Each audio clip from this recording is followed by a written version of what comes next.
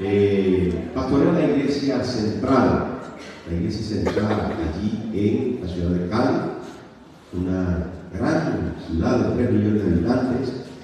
Eh, también sabido que es hijo de pastor y su papá pastorea en una zona que se llama Pasto. Eh, y es la iglesia más prominente de esa ciudad. El pastor Arango tiene ya muchos años en el ministerio, eh, también ha estado dirigiendo los jóvenes de toda Asamblea de Dios de Colombia y eh, ha sido candidato a, dirigir la presidencia de, de las Asambleas de Dios de Colombia. Por lo tanto, es una persona muy distinguida en el ministerio colombiano de las Asambleas de Dios y de la Pastoral Nacional y ha aceptado nuestra invitación para estar con nosotros. El pastor también eh, es un psicólogo, tiene máster en psicología, en psicología clínica y además si hay algún, lo que necesita liberación, tiene opción para... Entonces, eh, tenemos un invitado eh, extraordinario y estamos agradecidos de que nos haya aceptado la invitación, que esté con nosotros, con este equipo extraordinario de Nueva Vida y que algunos pastores de las diferentes congregaciones nacionales estén aquí. Eh, es un privilegio tenerlo, por lo tanto, eh, queremos que tenga el tiempo libre, la disposición completa para darnos la palabra de Dios, enseñarnos, saludarnos en relación al liderazgo que queremos desarrollar de mejor manera. De forma extraordinaria, también es esposo, es padre de tres hijos. ¿Cuántos tiene tres hijos? Tres hijas. ¿Ah? Hijas. Hijas solamente. Eso es un signo de, un de pastoral curioso. Eh, y ha sobrevivido.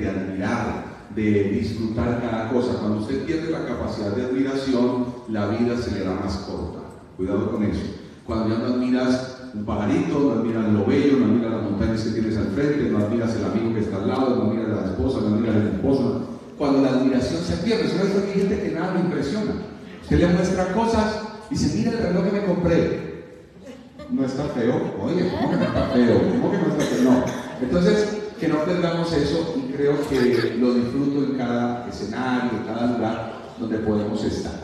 Bueno, ya lo decía el pastor, eh, tengo una esposa, tres hijas y una perra chiquita. En mi casa todo es femenino y como dijo el profeta, yo sigo siendo el rey.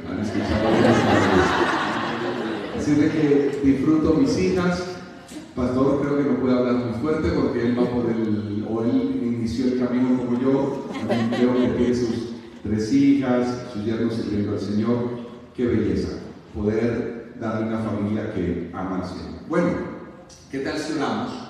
Eh, dependemos siempre del Señor y nos metemos con el tema. ¿Estamos de acuerdo? ¿Hasta qué hora nos vamos a ir con el tema? Recuérdenme solo eso. Según como, según como, lo, según como lo vaya yendo, si estamos aburridos, paramos rápido. Antes de que se me olvide algo, yo traje dos de mis últimos libros. Este se llama Una prisión llamada depresión. Esta es la segunda edición, ya escribimos la primera. Aquí hablo desde mi experiencia clínica. Yo hasta el mes de noviembre estuve trabajando en el hospital psiquiátrico como jefe de la sala 10. Así que conozco muy bien este personaje llamado depresión, que ayer hablábamos, no es un demonio, no es Satanás, es una enfermedad que hombres de la Biblia como Elías, como David, como Job, la enfrentaron. ¿Qué hacer, qué no hacer? Al final le coloco un test donde usted puede dar una miradita si lo que tiene es una tristeza, porque en la depresión hay diferentes variantes. Está el episodio depresivo mayor, episodio depresivo menor, eh, depresión postraumática, trastorno depresivo, hay una cantidad de cosas. Hay gente que pregunta, ¿eso es genético, eso es espiritual? Aquí trato de contestar. Y el otro libro es dedicado a la familia, se llama Un hogar no sobrevive a esto. Aquí tomo dos casos públicos, hay un capítulo donde le damos duro a las mujeres. Pero hay otro donde también cogemos al hombre y damos una, una, línea, ojalá no haya sido una mala palabra, porque yo, no soy de aquí, entonces puedo decir algo, me corrige a mí mismo, y me dicen, eso no se dice. Entonces, hay un capítulo para el hombre, un capítulo para la mujer. Un hogar sobrevive a cualquier cosa, a la infidelidad, a la mentira, pero hay algo a lo que no sobrevive y aquí se lo muestro, bíblica y científicamente. ¿Sabe? Se llama, eh, o quieres saber qué es? El desprecio. Cuando un cónyuge lentamente empieza a despreciar al otro, eso acabará de lugar. Y le muestro dos casos bíblicos, donde el esposo despreciaba a la esposa, pero tenía relaciones sexuales con ella. Qué interesante. Poder despreciar a alguien y acostarse con ella. Así de que al final, aquí en la partecita de afuera van a estar, no hay muchos, no hay muchos libros, no, traje muchos, pero creo que los que quieran tenerlo lo van a poder tener. Voy a estar afuera, que quiere que se lo dedique, que le coloque una clase, que se lo vaya a regalar a alguien porque es el tema de la depresión. Con mucho cariño lo vamos a tener ahí. Oremos al Señor. ¿Qué tal si hacemos un ejercicio para volver a traer el cerebro aquí? Le voy a proponer algo. Póngase de pie, sobre todo lo que tienen.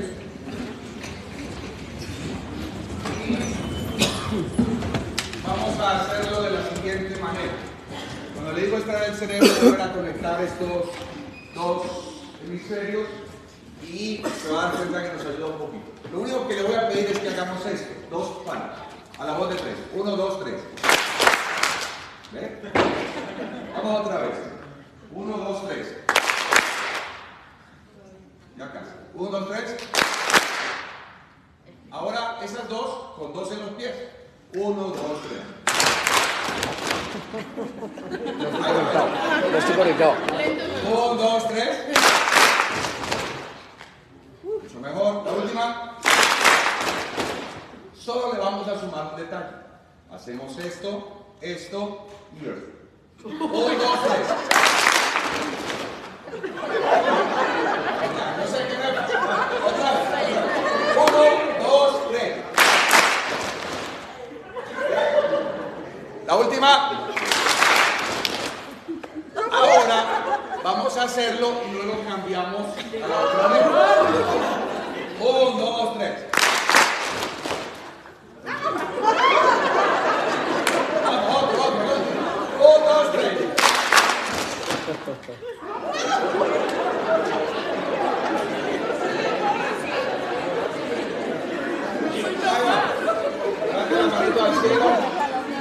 Y vamos ahora.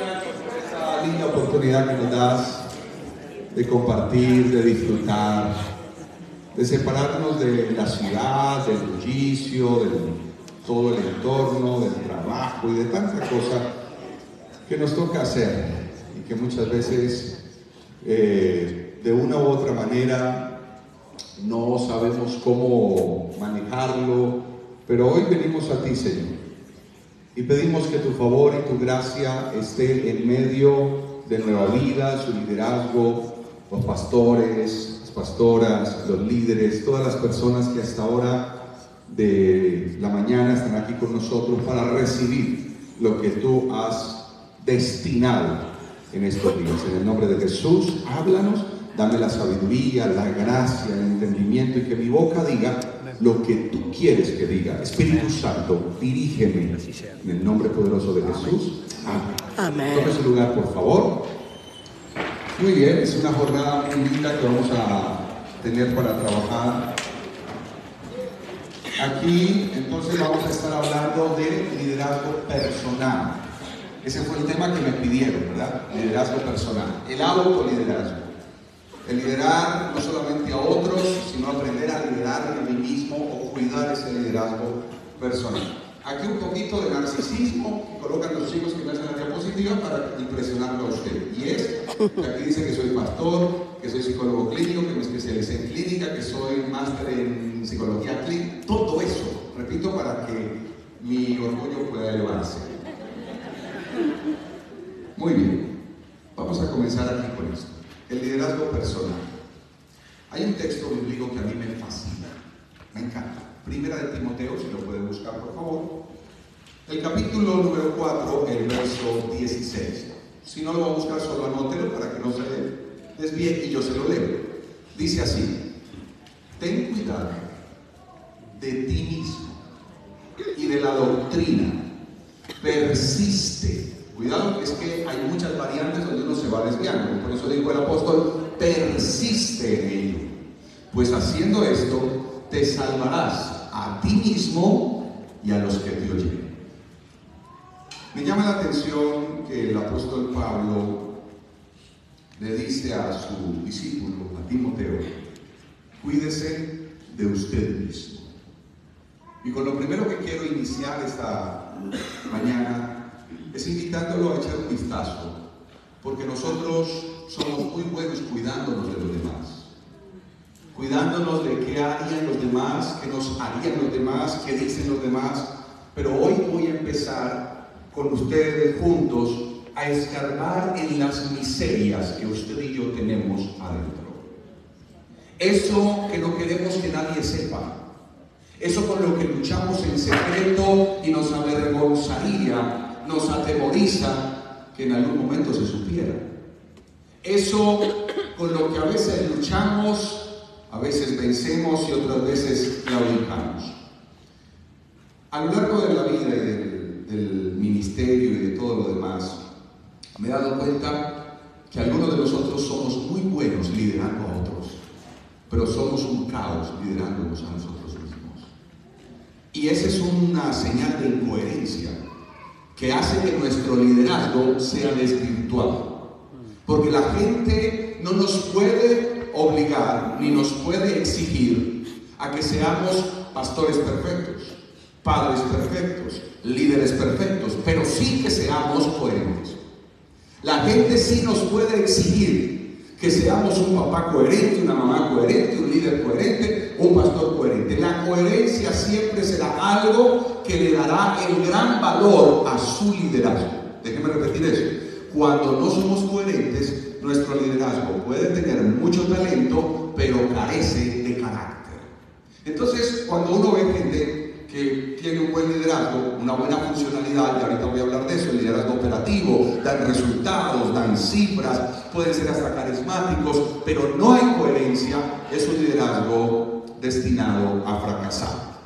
Ahora, quiero hacer una pregunta, anótela por favor, para que nos funcione muy bien. ¿Cuáles son las tres cosas o personas más importantes en su vida? Lo primero que vino a la cabeza, anótelo ahí.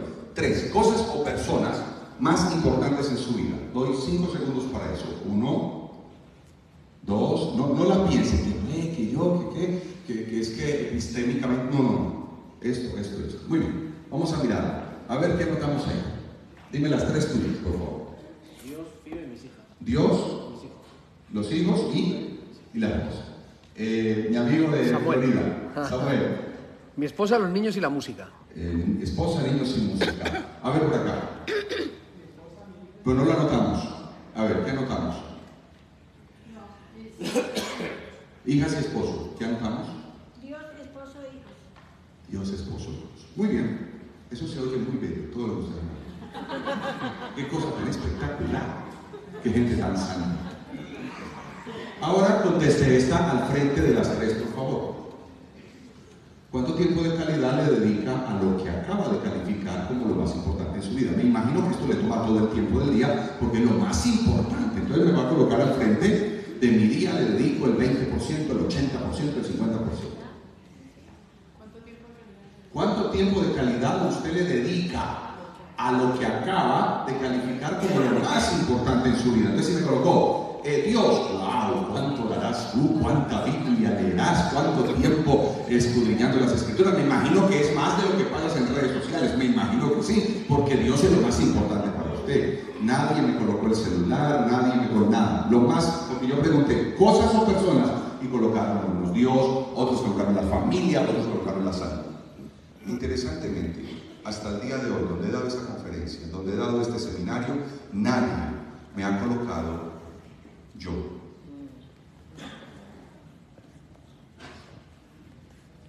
Tres cosas o personas más importantes para usted. Nadie coloca yo. Mi papá, mi mamá, ¿ven que siempre estamos en función de otros? Y casi nunca nos echamos un vistazo a nosotros. ¿Cuánto me quiero yo?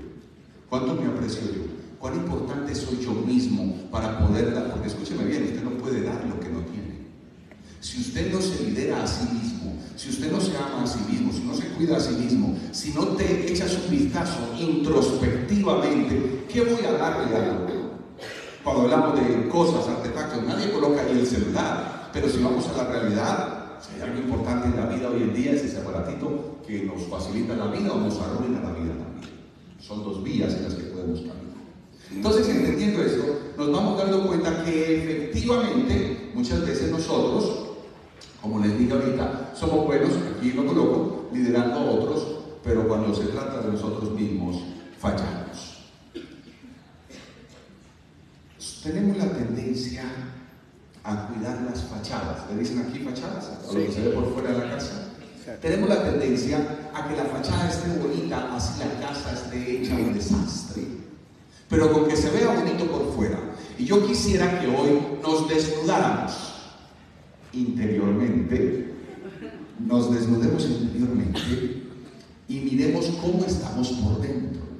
Yo sé que aquí están los líderes, yo sé que aquí estamos pastores, yo sé que aquí estamos gente que sirve al Señor, pero vamos a quitarnos ese manto de pastores, ese manto de líderes, porque usted y yo sabemos que no somos tan buenos como parecemos.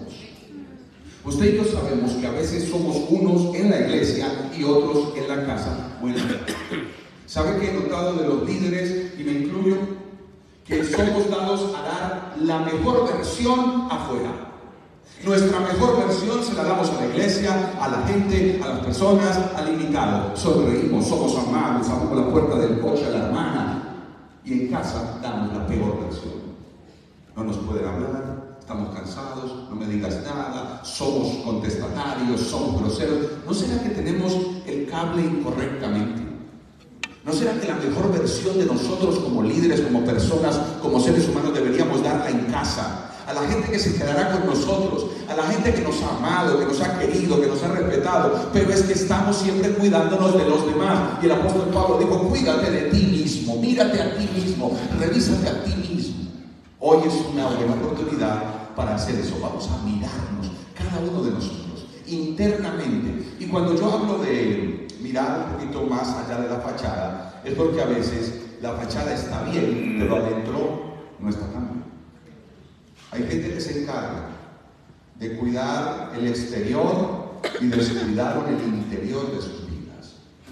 Y gente que dejó de orar, gente que dejó de leer la palabra, gente que aprendió a confiarse de sus conocimientos, gente que aprendió a hacer de la predicación un tecnicismo, donde ya no oro, no busco a Dios, no me arrodillo, no pido al Señor que Él. Hoy en día hay gente leyendo libros que ya tiene la prédica hecha.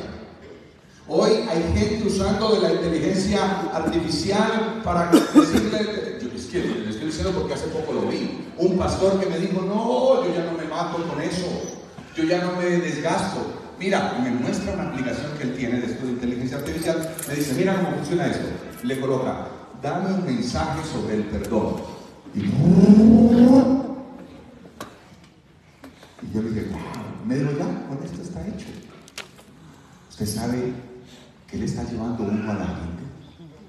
Ya no le llevas el corazón de Dios, ahora le llevas los conceptos. Ahora le llevas lo que un aparato te dijo. Tenemos que volver a mirarnos por dentro y volver a la espiritualidad de la que habíamos dependido ayer. No importa que haya recursos, no importa que el mundo esté globalizado, no importa que haya mucha tecnología, tenemos que volver a la presencia de Dios para ser no solo buenos líderes, sino buenos hijos de Dios. Y ser un buen líder pasa por lo interno, como es lo que estoy centrando inicialmente. Cuando ustedes me pidieron hablar de liderazgo personal, yo decía, bueno, ¿cómo logramos, cómo llegamos allí? ¿Cómo logramos esa, usando un poquito un lenguaje técnico, esa trazabilidad ministerial para que una vida se lidere correctamente? Cuando nosotros vemos que nuestro liderazgo va bien, tenemos la tendencia a confiarnos. Y empezamos a descuidar lo que no debíamos descuidar. Y cuidado, que cuando el diablo ve que no puede pararlo, lo acelera. Cuando él ve que tratando de frenarlo no puede, entonces coloca el acelerador y usted empieza a desgastarse y cree que el hacer, hacer, hacer, hacer, hacer, hacer es servir al Señor y no necesariamente. Hoy yo quiero invitarlo a que este seminario sea una linda oportunidad para decirle, Señor, me voy a ver por dentro. Hoy no estamos hablando de cómo liderar a los hermanos y cómo establecer este plan y cómo desarrollar esta estrategia. No, eso ya lo han visto y seguramente lo estarán viendo y nos ha enriquecido. Pero reitero, cómo nosotros mismos salir de esos baches donde estamos Salir de eso por lo que pedimos perdón una y otra vez. Esos pensamientos que a veces nos asustan a nosotros mismos. Esos deseos de hacer cosas, decir cosas. Esos pensamientos ocultos, pero que están ahí inmersos. ¿Cómo logramos salir de eso? Eso es lo que vamos a ir transitando a lo largo de nuestro tiempo de conferencia. Y lo primero, ¿cómo entonces logro potencializar ese liderazgo que Dios me dio?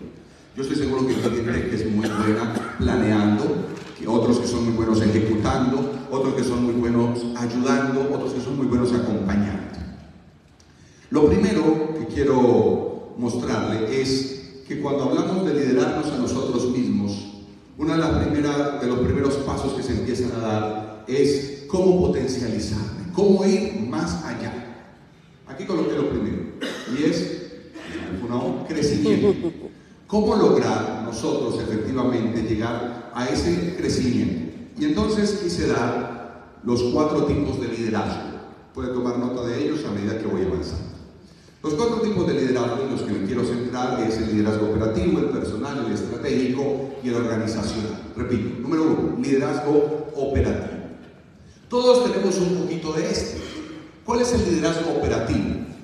Liderazgo operativo en el que nos han llevado a centrarnos tanto es lo que hacemos con nuestra organización, con nuestra iglesia, con nuestra empresa día a día. Es lo que yo hago para otra persona, ya lo decía, llámese empresa, iglesia, organización. Esa operatividad, donde hay gente que es muy buena en lo que se le coloca a hacer. Hagamos esto y saquemos esto adelante. Pregunto, ¿quién organizó este evento aquí? Que vino, que habló, que llamó, que hizo la negociación, que pidió que le rebajaran, que dijo que son tantos lugares y entonces le desayuno, con agua caliente o sin agua caliente, con agua caliente, con auditorio, con auditorio, en la calle adentro, que arregló todo eso. ¿Quién fue o quiénes fueron los que hicieron eso? Raquel. ¿Nadie? Sí. ¿Dónde está? Raquel. Y además de ser la que organizó aquí, también organizó el predicador. Ella me mandó la carta y me mandó esto y me mandó aquello es una persona con un liderazgo que... Operativo. Operativo. Eh, un liderazgo muy operativo. Esa gente es brillante. Hace, van, vienen, son capaces de no dormir, de no comer, de no hacer, y van. Tienden a ser acelerados. Tienden a ser descartantes. Si tú no caminas al ritmo de ellos, te sacan. Lo digo porque yo soy así. Entonces Raquel voy a compartir un poquito de cómo actuamos.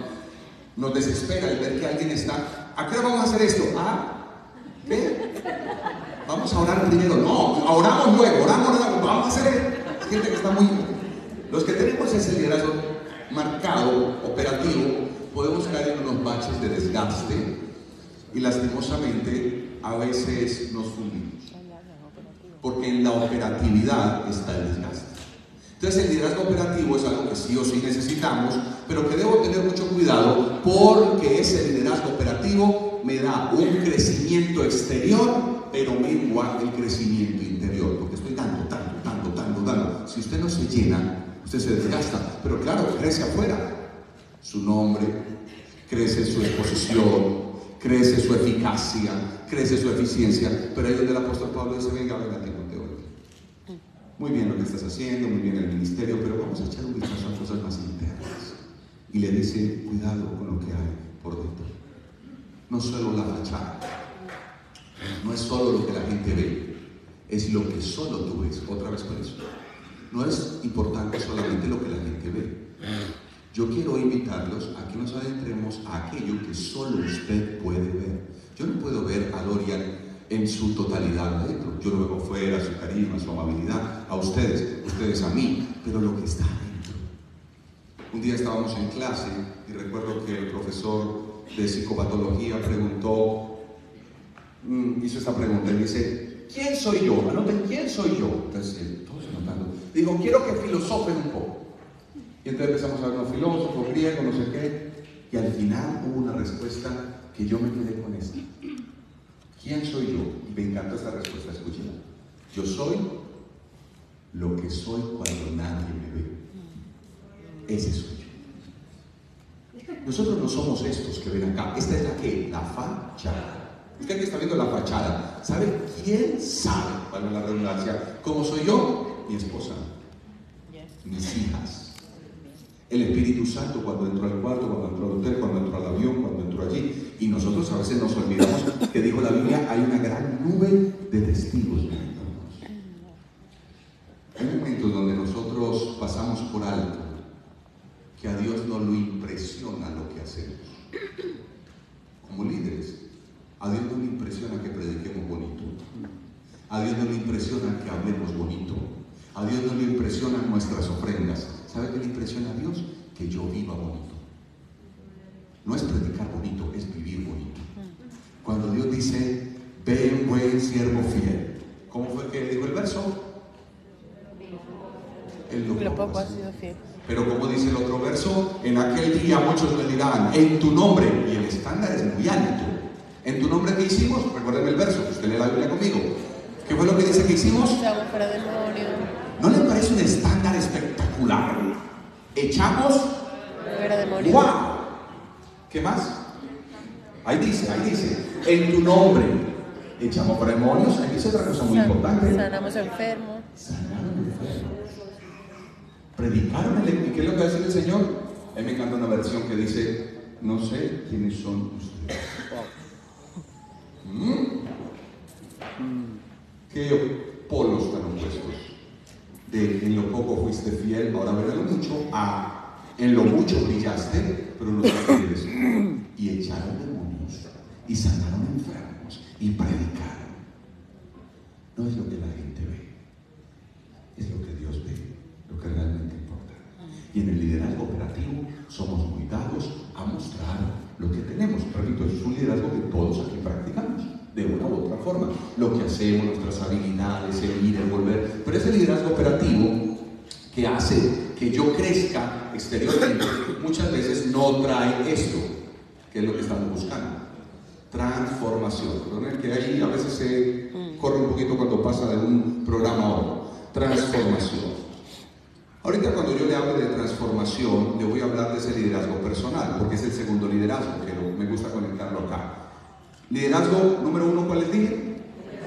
Operativo. Número dos, personal. Número dos, liderazgo personal. Ese es el que le estamos hablando. Liderar mi propia vida. Ya no hablo de liderar una organización, ya no hablo de liderar una iglesia, ya no hablo de liderar una, empresa, hablo de liderar mi propia vida. A ver, participemos un poquito. ¿Qué creen que es lo más duro de liderarnos a nosotros mismos? Levánteme la mano y me, me da su opinión. A ver. Hábitos sólidos. A ver, le pregunto, ¿cuánto tiempo tarda que un hábito se construya en el ser humano? 14 días. 14, 21. 21. Qué lindo eso. ¿Alguien da un poquito más? 40. Mucha santo. 40 días, 40 noches. ¿Alguien da un poquito más? El cerebro es extremadamente celoso. Para que un hábito se construya se demoran tres años. De modo que no lo interrumpas, no lo interrumpas, no lo interrumpas. Tú al cerebro no le ganas tan fácilmente la batalla. Por eso usted, mire, se lo pongo así. ¿A cuánto les gusta aquí madrugar? Gas. ¿Cuánto les gusta aquí madrugar? Que dice, pastor, yo me levanto a las 4 de la mañana sin reloj. Usted tiene un problema mental. ¿Cuánto que, que les encanta la madrugadera. Levante la mano. Que dicen, soy feliz madrugando. Lo van a poner a hacer aseo mañana levante la mano. Eh, pastor o, líder, ¿a qué se levanta usted normalmente? A las 5 de la mañana. 5 de la mañana usted está en pie. Felicito. Ayúdame. 5 de la mañana. ¿Alguien más que sea de esa, especie? ¿A qué hora? Cuatro. Dios mío, ¿en qué cuarto está? No, no, no, quiero estar cerca de ustedes. La gente se va haciendo bulla. Y aparte, yo tenía un amigo en, en- en el seminario en Misú que empezaba a orar y decís que todo espíritu de sueño se va. Yo decía, déjame el mío quieto, es mío. Saca el tuyo, pero ¿por qué se va a llevar los demás? Todo espíritu de sueño fuera. No, el mío déjalo quieto. a mí. Claro, tipo a las cuatro de la mañana sacando el espíritu de sueño del valor. 4 de la mañana, 5 de la mañana. Perfecto. Ahora le pregunto, ¿cuántos aquí son buenos trasnochadores? Eso sí, que nos deben dormir nuestras horas. Diga, pastor, 11, 12, una feliz con un, ¿cómo se llama? Con un chorizo ibérico, con un pollo, con queso manchego, Dios mío, guárdame, Señor, de esa locura. Levante la mano. Mi gente, estas son las mías. Todo, tú eres de esos. Te voy a escribir tarde de la noche, dígame al WhatsApp. Que nos encanta mandar mensajes a las 11 de la noche, mandamos la planeación del otro día a las 11 y media sin problema. A ver, la mano arriba. Muy bien. Vale. Déjenme ir por el lado de los niños, los que no nos gusta madrugar. Los que somos felices, que nos dejen dormir hasta las 6, 7 de la mañana, y si se puede más, mejor Mejor, obvio. porque trasnochamos más. Nosotros tenemos una casa de, mañana no hay que madrugar, vamos hasta la una. Uf, 12, una, porque sabemos que mañana el otro día podemos levantarnos a las 8. Entonces mire lo que pasa. Usted que no le gusta madrugar, yo lo puedo colocar a usted a madrugar durante 10 días o 20 días. Porque está estudiando, porque está en la universidad. Resulta que eso es un cambio que se genera con presión. Porque tiene que estar en clase, porque tiene que llamarme, porque tiene que estar aquí. Los cambios que se generan con presión, una vez le quitan la presión, entonces tú me puedes colocar a mí a madrugar 15 días, 20 días, 30 días. Una vez yo llegue a Cali, me vuelvo a levantar a las 8 o 9. Porque no es un cambio que el cerebro toma inmediatamente. Tomará tres años para que se genere una plasticidad cerebral y el cerebro diga, ok, vamos a cambiar el hábito y empecemos a madrugar. Entonces, nosotros muchas veces en esos hábitos personales de los que estoy hablando, no logramos la transformación porque no tenemos un componente que ahorita se voy a dar para poder alcanzarlo. Y el componente que le voy a hablar en un ratito es el más duro de alcanzar. Cuando nosotros hablamos del liderazgo personal, de ese liderazgo interno, nos vamos metiendo por terrenos en los que se involucra la infancia, la crianza, la adolescencia, la juventud. Hagan mal el trabajo como papá o como mamá de los 0 a los 6 años con un hijo y a los 12 años hablamos. A los 12 años de edad de ese niño hablamos. Ahí es donde sale. Porque usted es lo más importante para sus hijos hasta los 10 años. Usted puede quemar a un hijo y ese hijo le perdona y lo sigue amando. Pero a los 10 a los 10 añitos, a los 11, ya usted no es lo más importante para ellos. Ahora son sus amigos, ahora es su celular, ahora es su estudio, ahora, ahora hay una cantidad de cosas. Si nosotros no podemos liderarnos a nosotros mismos, menos podremos liderar bien un hogar. Menos podremos liderar bien un ministerio, una iglesia, una obra, un grupo de vida, todo lo que ustedes están desarrollando a lo largo de la vida. Entonces, en ese liderazgo personal, cuando hablamos de dirigir nuestra propia vida, empiezan a salir unas cosas donde son hábitos incorrectos, donde son dolores con los que luchamos solos. Cuidado con esto. Tenemos la tendencia a generar arreglos para sufrir. Arreglos para sufrir. ¿Y sabe cuál es uno de los mayores arreglos? La espiritualidad. Es que esto con lo que el diablo me ataca. Y el diablo dice, pero ¿por qué? Yo no tengo nada que ver ahí. Cállate la boca, Satanás, mentiroso. El diablo me está atacando. Es que no es el diablo, sino que hace parte de mi propia gestión personal. Y como yo no estoy gestionando eso, hago un arreglo para sufrir. Ejemplo, la hermana que el esposo le pega, la araña, le infiel y dice, yo sé que Dios algún día lo va a libertar porque eso es Satanás. O sea que yo sigo con alguien que me estaba pegando y que casi me amenaza por matarme, sigo en nombre de la fe. No. Cuando usted le echa un vistazo, esa persona desde la niñez tuvo grandes falencias, y un día perdió un papá, un día lo abandonaron, un día la hicieron, y ahora su psiquis dice, se fue el padre, se fue la madre, se fue la plata, se fue todo eso, este no se me va, así me toque sufrir. Y encontró el arreglo para sufrir, se llama la fe, en nombre de la fe. Ole. Vamos por favor a mirarnos un poco más adentro. Y ya le decía, mire, nadie me dijo, entre lo más importante, nadie me dijo que era usted, y eso es bíblico. La Biblia dice, ama al otro Como a ti mismo. A mí un día un profesor en, en la clase de psicoanálisis al hoy, recuerdo que me dijo, pero es que Jesús era muy narcisista. Y ¿por qué? Porque yo no creo en Dios. Y ¿Por qué? Me dice, yo leí un en el mito bíblico, yo le llaman el mito bíblico, en el mito bíblico que él dice que hay que amar al otro como se ama a uno mismo. Digo, no debería ser al contrario. Amo a los demás y si queda tiempo me amo yo mismo. Le dije, no, porque usted no puede dar lo que no tiene. Y si usted no aprende a amarse usted, no podrá amar a otro. Es. quedó pensando yo no sé de dónde me salió eso, el Espíritu Santo me dio la palabra. Porque me pensando luego en la casa y fui a ver bien el texto y a ver, ¿qué? Usted ha leído a Isaías que dice, ¿por qué es que el Señor nos perdona? ¿Por amor a quién? ¿A quién? Ah, no, usted. Dijo la Biblia, yo te perdono porque yo me amo. Si usted no aprende a amarse, usted nunca tendrá un buen liderazgo personal. ¿Sabe por qué? Porque usted es de los que, cuando entramos en liderazgos, por ejemplo, operativos, como lo acabé de decir, usted anda cumpliéndole las expectativas a los demás. Cuidado, cuando tú no tienes prioridades, otro te pondrá sus prioridades a ti. Tal cual. Usted no tiene prioridades, otro le coloca las de él para que usted se las cumpla. Y siempre andarás en la vida cumpliendo las prioridades de otro, de un esposo, de una esposa, de un hijo, de no sé qué, porque lastimosamente no hay liderazgo personal en nosotros que nos ayude a decir, no, hoy no puedo, nosotros no, no, no es el momento, etcétera, etcétera. Pero sigamos avanzando. Entonces algunos dicen, bueno, yo quiero crecer, este liderazgo me da transformación, aquí está una fórmula, aquí me falta.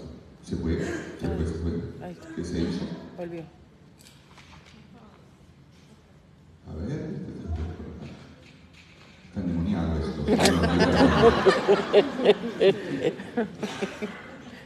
A ver qué le pasó. Todo está saboteando la conferencia. Aquí viene y aquí eso Ahí está. Ahí está. Se produzca un cambio en lo que muchos están pidiendo. Ahí vienen los dos liderazgos que creemos nos ayudan a generar cambios. Tercero que es el liderazgo estratégico y el cuarto que es el liderazgo organizacional. Vamos a repasarlos. ¿Cuál fue el primer liderazgo que vimos? Liderazgo operativo. ¿Que tiene que ver con qué? Con hacer, con la operatividad, como su nombre lo dice, con la eficacia, con la eficiencia, con el ir. Pero ¿qué es lo que hace ese liderazgo? Que nos ayuda a mostrarnos por fuera, pero nos rompe por dentro. Nos desgasta, nos acaba, andamos haciendo todo por los demás, pero no nos miramos a nosotros mismos. Luego aparece el liderazgo que todos queremos, el segundo que acabo de mencionar, que es cuál? El liderazgo qué? Personal. personal, que habla de liderar qué? La propia vida, donde me echo un vistazo, donde aprendo a querer y donde aprendo a valorar. Tercero, el liderazgo estratégico, que es donde nosotros creemos que empieza a llegar el cambio. Y en el liderazgo estratégico, lo que nosotros hacemos es tener una visión futurista, es decir, el liderazgo estratégico tiene que ver con lo que viene, con lo que se va a dar, con lo que va a pasar, con lo que va a llegar. Hay cuatro personas que todos deberíamos tener en la vida. Si quiere anotarlas, cuando estén mis notas, solo perdón, en, en mi diapositiva, pero sí la tengo acá. Y a lo mejor le puede ser cuatro personas que todos necesitamos en la vida. Número uno, un clarificador. Número dos, un confrontador. Número tres, un mentor. Número cuatro, a ver, repítamelos. Confrontador, consolador, clarificador y mentor. Esos son los cuatro. Voy a repetirlo. Consolador, e- es el orden, no, no, no es que vaya un orden. Consolador, mentor, clarificador, confrontador. ¿Listo? Mentor, consolador, clarificador y confrontador. Vamos a hablar de los cuatro. Un mentor, déjame empezar por el mentor. Todos necesitamos tener mentores. La gente que no le gusta rendir cuentas tiene serios problemas con la autoridad. Usted hoy mira cómo eran pequeñitos, papá maltratador, mamá súper estricta, infravalorado. Es gente que va a crecer sin querer rendir cuentas. Todos necesitamos mentores. Por más alto que estemos en la línea de liderazgo, necesitamos mentores. ¿Qué es un mentor? Es aquel que me ayuda a crecer en, en algo específico. Dígame quién podría ser un mentor en la vida. A ver, dígame nombres. ¿Un qué? Un pastor, perfecto. ¿Qué más? Un papá, mi mentor, me acompaña, me enseña. ¿Qué más? Un profesor, es el mentor, me está ayudando, me, mostró esta materia que estamos viendo, esta asignatura. Un mentor. Todos necesitamos mentores que nos acompañen en, que nos guíen. Número dos, el clarificador. A ver, una definición muy sencilla. Clarificador, que me hace pensar. Es el que me hace pensar. Te hace preguntas, te dice cosas que te generan análisis. Ejemplo, así le dices a, a esa persona, tu clarificador, ¿sabes qué? Yo no voy a buscar más a mi esposa, ya me tiene cansado, ya me tiene, mejor dicho, yo no le voy a hablar más, ella verá si me habla. El clarificador te dice cosas como, ¿y tú crees que le haría bien a la relación romper los puentes de comunicación? Pues no sé, pero la verdad es que, bueno, le voy a hablar pero favor mañana, dos días sin hablar. Mire, mire cómo va modulando nuestra respuesta. El clarificador me hace pensar, sin juzgarme, sin señalarme. ¿Quién puede ser un buen clarificador en la vida? ¿Quién? Su esposo. Perfecto. Sí, claro. Te hace pensar. Un psicólogo. Perfecto. ¿Quién más puede ser un clarificador? Un amigo. Un amigo, un coach. Chévere. ¿Quién más? Otro clarificador que tenga pensar. Un papá. Muy bien. Todos necesitamos un clarificador. Tres. Confrontador. Anote la definición que está en mi mente. Me dice lo que no quiero escuchar, pero me ama. Me dice lo que no quiero escuchar, pero me ama. Es ese que te dice lo que nadie te diría, pero es alguien que te ama, porque si te lo dice alguien que no te ama es un envidioso. No, hablo del que te ama y te dice lo que nadie te diría. ¿Quién? Ese es mi concepto. ¿Quién es uno de los mejores confrontadores en la vida? Yo. Sí.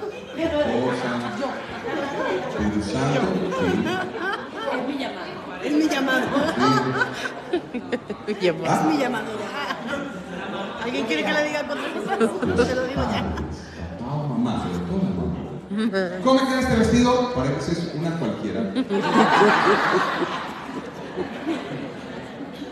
¿Cómo estoy vestido así? Uh, te ves chiquitito con esa ropa. Pero y, y el, y el que le vendió la ropa en el almacén dijo que se veía. No, no quería, ellos son vendedores. Se le contaron las historias.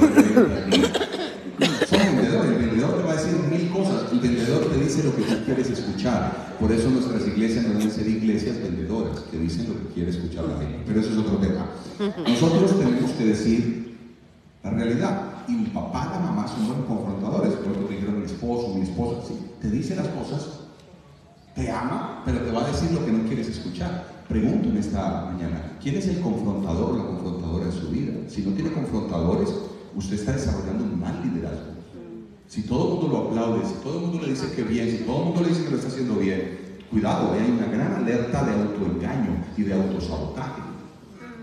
Porque usted puede estar haciendo algo que está mal y usted convencido de que está bien y está generando un falso positivo para su vida. Ahora hablamos. Y el último, que también lo necesitamos, el consolador. ¿Quién es el consolador? En Colombia usamos la palabra parcero, en México utilizan la palabra cuate, eh, el americano le dice el brother, ¿cómo le dirán aquí en español? Es, ese que es Colega. el amigo del alma, ese que Colega. ¿Ah? Colega. Colega, mi colega. Ese que contigo hasta las que sea, para hacer lo bueno, para hacer lo malo, ahí me tiene. ¿Quién es ese consolador? Todos necesitamos a alguien así en la vida, hombre. Ese que tú lo llamas y le dices, amigo, ¿qué pasó, papá? ¿Qué pasó, parcerito? ¿Qué pasó, colega? Esa muchacha, la novia, ¿sí? ¿tú sabes cómo? Sí, sí, sí, la placa, sí. ¿Qué pasó? Hermano, me llamó y me terminó. ¿Y qué pasó? ¿Por qué? No, que, nos demos tiempo, que se cansó de mí. Hermano, no llore. No llore, en la iglesia hay como ocho que me han preguntado por usted. No llore. Ya lo voy a recoger. Es más, le digo esa placa, no me gustó. Espera que me voy por usted. Te lleva, se toma una, agüita, algo, le comparten, tal. A los cuatro días se vuelve y lo llama. Amigo, ¿qué pasó, papá? Hey, está flaco, me llamó. ¿Y qué pasó? Hermano, dijo que se había equivocado, que le perdonara, que es que ella tuvo un mal día. ¿Y tú qué sientes? Hermano, usted sabe que yo la amo. Lucha por ella, que la Biblia dice.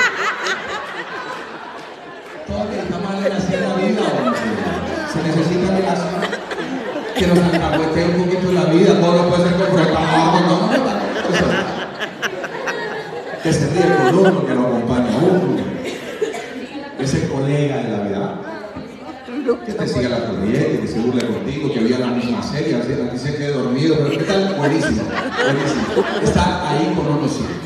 Esas cuatro personas me van a ayudar a mí a tener un liderazgo personal correcto. Ahora, cuando yo estoy hablando de liderazgo estratégico, que es en el que estoy centrado, y hablamos del futuro, de lo que viene, esto es lo que nos va a ayudar a nosotros a tomar buenas y correctas decisiones, porque estoy planeando. En el liderazgo estratégico es donde usted toma Completo. decisiones.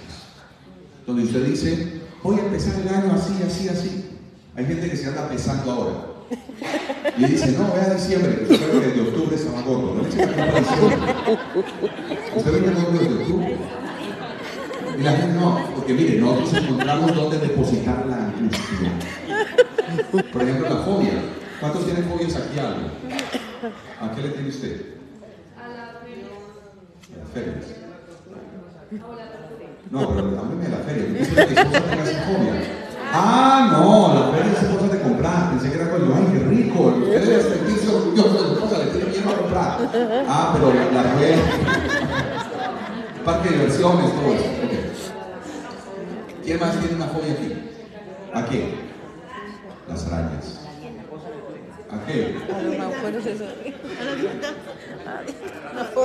Las ratas, o sea, musofobia se llama eso, musofobia. Eh, ¿Qué más? Las mariposas, otros, motefobia. Ah, bueno. Observe esto, para explicar un poquito por qué yo hago eso de depositar mi angustia. Todos necesitan depositar. Y noten que las fobias casi siempre depositamos la angustia en algo inofensivo. ¿Qué le puede hacer la rueda? ¿Qué le puede hacer una araña? ¿Qué le puede hacer un ratón? Antes salen corriendo cuando nos ven. Lo que pasa es que la angustia tiene que ser puesta en algún lugar. La ansiedad se tiene. ¿Usted recuerda cuando el apóstol decía, traigan toda la ansiedad a él? Como nosotros buscamos algo, buscamos algo que se llama objeto fóbico. Y si usted se da cuenta, casi siempre lo que le tenemos esa fobia es inofensivo. Pero ahí depositamos la angustia. Entonces uno puede hacer terapia y dice, no, ya no tengo miedo a la cucaracha, pero hace una migración sintomática, ahora le tiene miedo es a los gusanos. Entonces la idea es llegar es donde está la angustia, lo que produjo la angustia, lo que despertó. Cuando menciono eso, es porque hay cosas internas en nosotros con las que vamos a tener que luchar toda la vida. Miedos, temores. La pregunta es, ¿dónde estoy depositando esa angustia, esos temores, esos miedos, para poder tener un buen liderazgo estratégico en la vida? ¿Qué planeación tiene usted? ¿No se ha dado la tarea de pensar en eso? Me imagino que aquí también. Una empresa, ¿ha visto el, el cartelito que dice que tiene una visión, misión, ¿no? ¿Tienen aquí también? Visión, Valor. misión y valores corporativos. ¿Usted le ha hecho ese ejercicio a su familia? ¿Le ha hecho ese ejercicio a su vida? ¿Cuál es la misión suya? ¿Cuál es la visión que tienen como familia? ¿Para dónde van como familia? La misión, ¿para qué existen como familia? ¿Cuáles son los valores, los innegociables? Y, y han hecho un cuadrito y lo han colocado en la casa para que los hijos lo vean, lo entiendan. Por ejemplo, en nuestra casa, los valores, o sea, los innegociables son el respeto, el amor y el perdón. Esto es innegociable en nuestra familia y nuestras hijitas lo saben. Se lo hacemos a la empresa, se lo hacemos a la organización, se lo hacemos a la iglesia, pero no nos lo hacemos a la vida misma. Por eso tantas rupturas internas, porque nos enseñamos a estructurar todo menos nuestra propia vida. Si quiere un buen liderazgo estratégico, no es solo con planes estratégicos, es con vidas estratégicas. Que voy a lograr yo llegar a donde quiero llegar. Antes de desarrollar esta fórmula, que yo la llamo la fórmula de la transformación, déjenme hablar del último liderazgo, que es el liderazgo, ¿cuál? Organizacional. El liderazgo organizacional, que por eso esto lo programó el liderazgo organizacional, es donde nosotros estamos enfocados para dirigir, liderar, acompañar una empresa, una iglesia, una compañía, una organización, etc. En este caso la iglesia, la obra del Señor, donde nosotros estamos entrando en una línea organizacional. Vamos a hacer esto, vamos hacia esto, este año es esto, Dios nos va a bendecir con esto. Perfecto. Pero qué lindo es que Nueva Vida vaya con nuevos líderes, con líderes que se aprendieron a mirar a sí mismo, que se aprendieron a mirar a sí mismo, que no nos da miedo venir al altar y arrepentirnos, que entendemos lo que predicaba la pastora hoy, que hay un velo. Y detrás de ese velo está la gloria del Señor. Cuando decía el pastor eh, Tomás ayer, cuando decía, nosotros tenemos que ir a la paridad. A veces en el liderazgo secular allá afuera está el liderazgo vertical. Siempre es así, arriba y abajo, de arriba hacia abajo. Con el Señor está la horizontalidad. Tú y yo, te lavo los pies, te amo. El pastor ayer me decía dar vergüenza. Me cargaba la maleta, no me dejaba el pastor, pero por favor, no, no, no, ven para acá. Hombres que le enseñan tanto a uno con sus actos, con sus detalles. Quiero decirle hoy, quiere un liderazgo organizacional bueno, tiene que ser primero bueno usted por dentro. No tengo que ser bueno en, tengo que ser bueno aquí. Y luego desarrollo mis habilidades. Pero lastimosamente nosotros nos hemos centrado en unas líneas de cambio que son momentáneas. No sé cuántos aquí han hecho dieta alguna vez o están haciendo dieta. Mire esto. Las dietas son un buen termómetro para saber cuánto dominio propio hay en usted. Ay, Dios. La dieta es un buen termómetro para saber cuánto dominio, cuánto autogestión tiene usted. Escúcheme esto. Si a usted lo domina un postre, el día que se le presente una mujer desnuda, usted no es capaz de decirle no.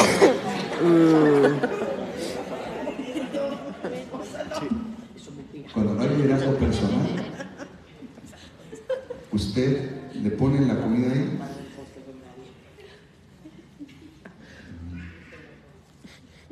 Si usted dijo no, pues no. No.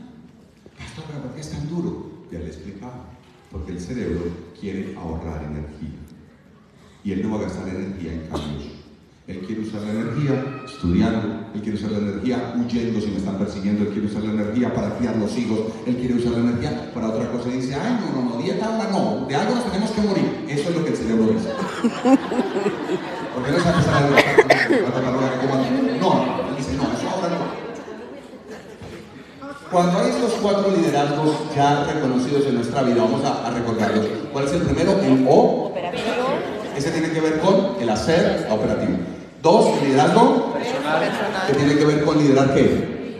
Mi propia vida. Tres, el liderazgo qué? Estratégico. Donde usted dice para dónde voy. Sí, futurista. Y el otro es el liderazgo Organizacional. organizacional. Pastor perfecto, yo quiero ser bueno en mi liderazgo, en todas las líneas.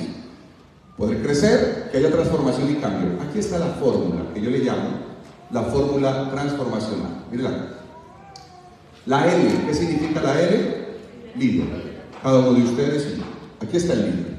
Entonces el líder viene a algo como esto, un taller, una predicación, una conferencia, como le quiera llamar, y aquí está la D, se llama Descubre Información. Y aquí hay gente tomando nota y grabando y haciendo y, colocando. ¿Usted está qué? Descubriendo información. Dice, sí, wow. Y hay otras cosas que las subraya y las co- les coloca resaltador. Dice, esto lo voy a hacer. Claro, yo soy muy organizacional, poco estratego. No, necesito un mentor. Y aquí gente dice, sí, tengo que buscar. Claro, yo soy el que dice que lucho con la autoridad, por eso me caen mal los policías, por eso, y es que eso es lo que me pasa a mí. No quiero dar el reporte al pastor. Y, uno, y a esa gente de los que dice, ¿para qué tantos números? Al Señor no los números. A ustedes no le importa, pero al Señor sí le importa. Pero como uno no quiere dar cuenta, yo no quiero mentor. ¿Usted qué está haciendo? Descubriendo información. Salen de aquí y se van para su ciudad, para su eh, barrio, ¿cómo le llaman? Su colonia, no sé qué, y entran en la acción. Yo creo que ustedes van a entrar en la acción. Hasta ahí llegamos. Esta es la más dura, ya le voy a decir cuál es esta. Pero aquí, uh, hasta aquí vamos bien. Líderes, aquí estamos, descubrimos información, perfecto. Acción. Aló, mira, es que estuve en una conferencia, me gustó, eh, yo necesito un mentor, y entonces ya usted tiene los cuatro. Mi mentor para este año es este, mi planificador es este, ay, mi alcalde, eh, perdón, mi, mi consultor es este. Ya usted los tiene. ¿Está en la qué? Diga conmigo esta palabrita, ¿la qué? En la acción. acción. Estoy actuando. Y sí, vamos a aplicar esto en la Biblia. Y vamos a hacer este curso cada semana. Y vamos- Acción. Aquí viene el gran Esta R. Porque aquí es donde el cerebro y el sistema límbico se va a atravesar. Aquí está. ¿Qué es la R? Realidad es realidad. No, sí, se va a respetar. Responsabilidad, resistencia, ¿qué más? ¿Qué se le viene a la R? Realidad, ¿qué más? Voy a regalarle un libro al que me diga eso. Remate. Remate. Rebeldía. Resolver. Rebeldía. Re- re- pero. Repetición. Resiliencia. Repetición.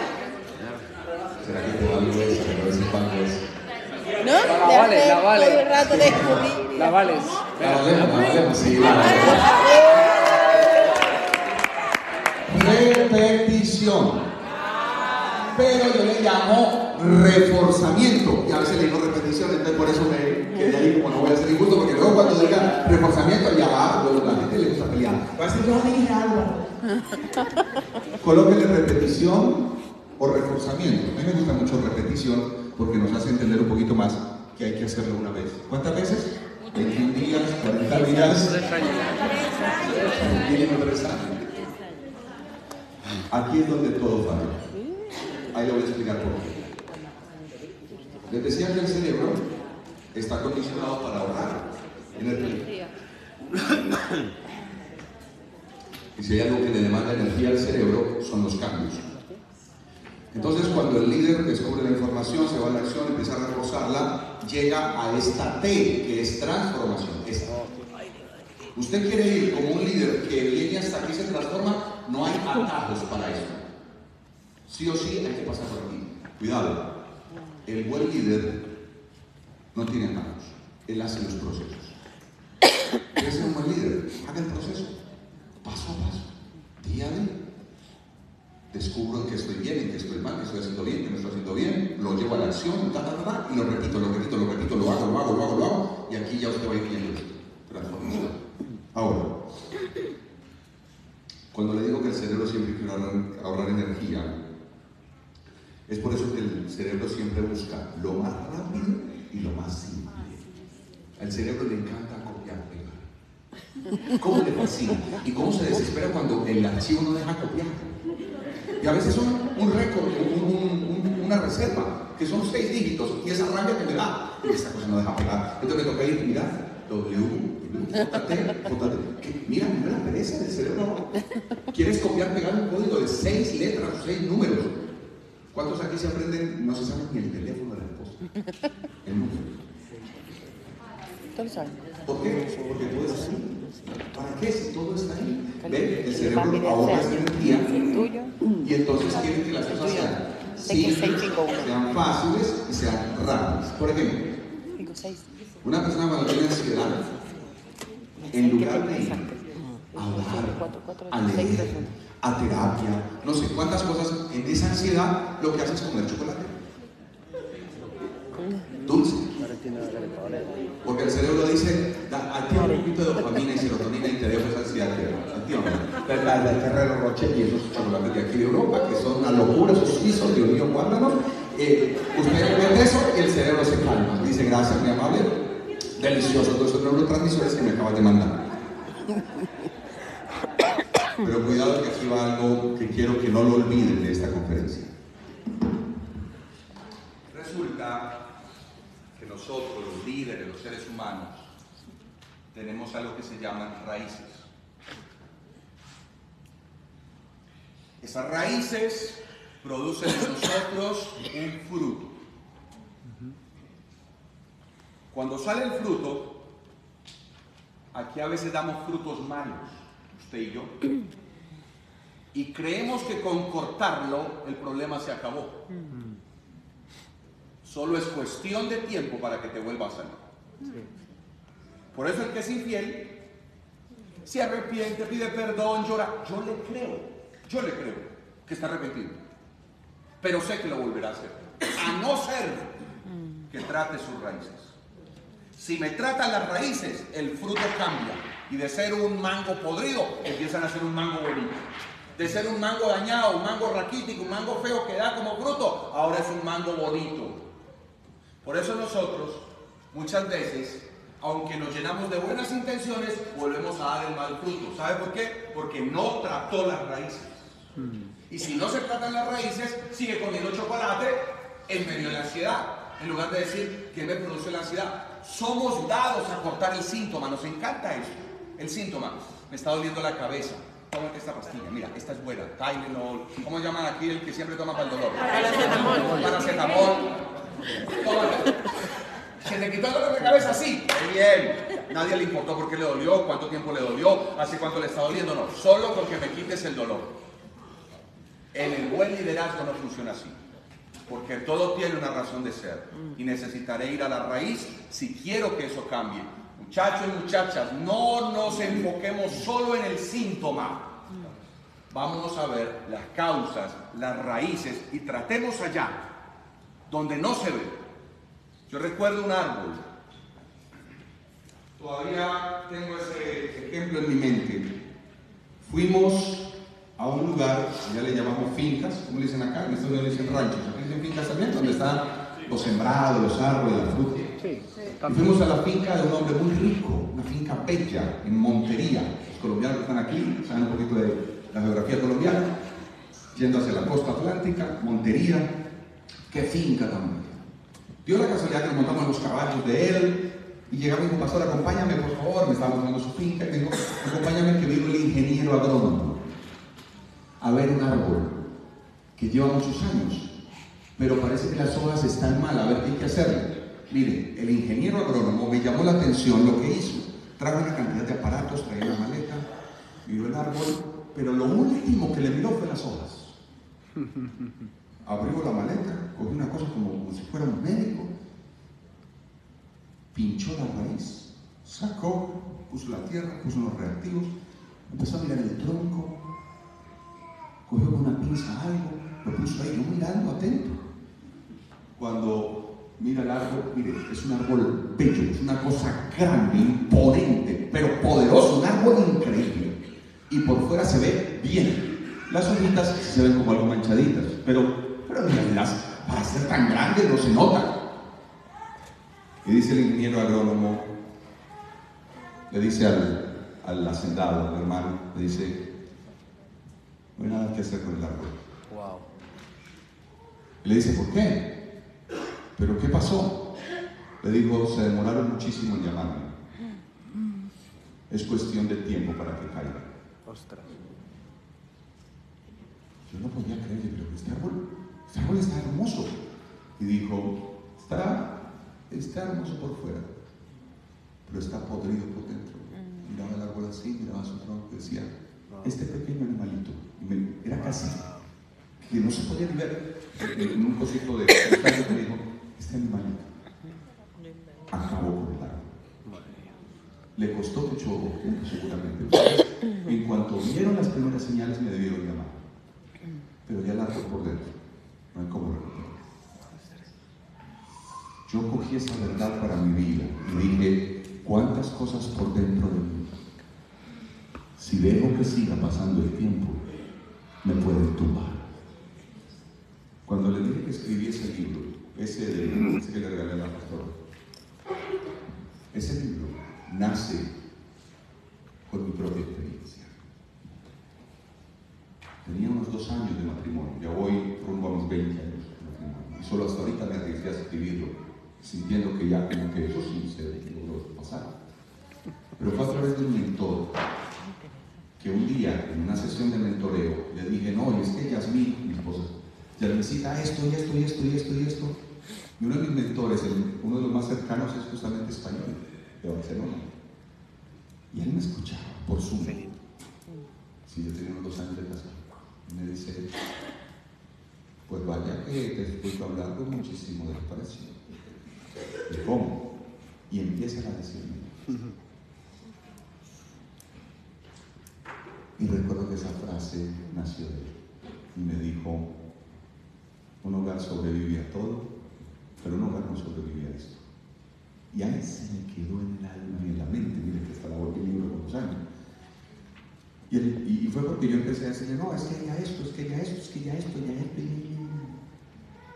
Mi esposa estudió medicina, mi esposa estudió cualquier cosa, etcétera, etcétera. Pero yo decía, si ella estudió esto, esto, ¿por qué no entiende esto? ¿Y por qué no hace esto? ¿Y por qué no? no, no, no, no? Y me di cuenta que estaba pidiendo lo que yo no daba. Porque tenemos esa tendencia. ¿Sabes qué tuve que hacer? Empezar mes a mes, semana a semana, día a día, a cuidar y revisar eso, a cuidar y revisar eso.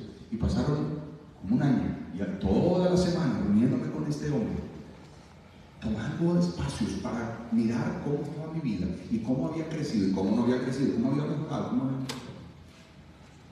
Es que podemos ser altamente perversos.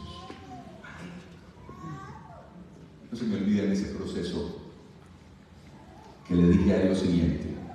Le dije, mira, fulano, yo no aguanto más esto.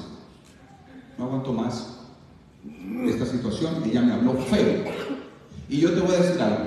Yo no le voy a hablar esta vez. Siempre yo le pido perdón y que mira, arreglamos. Esta vez no. Entonces él me dice, "Ujú, ujú, ujú".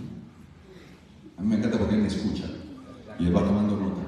Le dije, y yo esta vez me voy a hacer sentir. Claro, tú tienes tus dos primeros años de casado, tú estás queriendo poner la norma.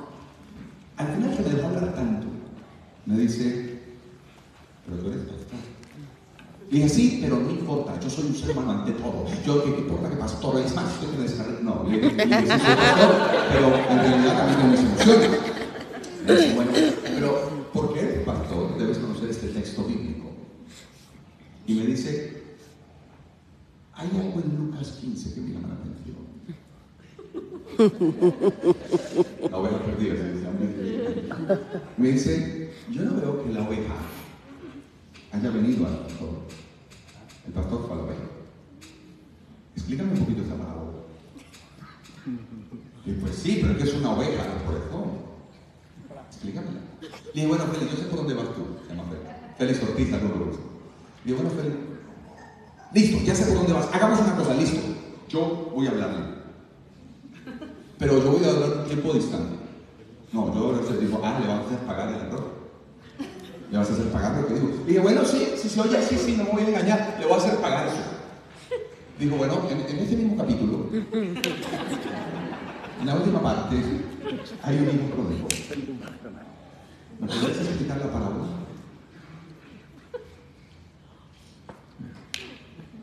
Ya, me dice qué decir. Y me dice estas palabras que retumbarían para siempre. Me dijo, ¿sabes? Creo que él es un hombre con mucho poder, pero sin autoridad. Si tú no le puedes mostrar gracia a tu esposa, solo eres un hipócrita en el púlpito, que no le podrás mostrar gracia a un pecado. Yo le dije, bueno, chao. Pagando por esto. Encima paga. ¿Cuánto me sirvió 15, 16 años después todavía lo recuerdo? Y todavía me sigo reuniendo con él. Ya no semanalmente, ya una vez al mes, bueno. Pero quedó en mi mente eso. Poder reconocer cuando nosotros tenemos un liderazgo que tenemos que mirarnos adentro. Cuando él me dijo, tienes mucho poder, pero en tu casa tienes muy poca autoridad. Wow. Tienes que imponerte para que las cosas salgan. Así no es. La autoridad es otra cosa. Muchachos, queremos un verdadero liderazgo que se transforme, un liderazgo interno, necesitaremos recorrer ese camino, pero yo le decía, no dejando que mi cerebro me engañe. Usted va al médico y el médico le dice, bueno, estoy observando que sus triglicéridos están muy altos. Hay dos opciones. Cambia la dieta, hace ejercicio, cambia sus hábitos, deja las grasas, deja tanta cosa, o me toca darle esta pastillita, astorvastatina más esta. El cerebro de inmediato dice, dame la pastilla. Sí, yo no voy a empezar a caer chicharrón y no, no, no. Dame la pastilla y seguimos nuestra vida tranquilos. El reforzar, el repetir, va a gastar muchísima energía. Ya le decía que el cerebro no quiere. Yo le pregunto esto. Hágase esta pregunta, si quiere anotarla. ¿Qué área en mi vida? Voy a dictarla para el que está tomando nota. ¿Qué área en mi vida no ha mejorado o no ha cambiado? Y luego le coloca qué le falta. Si le falta acción o reforzamiento. Voy a repetirlo. ¿Qué área en mi vida no ha mejorado o no ha cambiado? Y colóquele dos flechitas. Y le coloca qué falta. Acción o reforzamiento.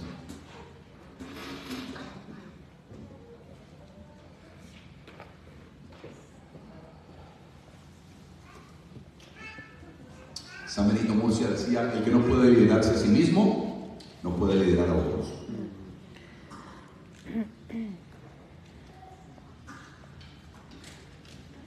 Muy bien. Antes de entrar al segundo punto, porque llevo ya mucho tiempo disertando, vamos a hacer una pausa, vamos a, poner- a ponernos de pie un momentito, vamos a estirar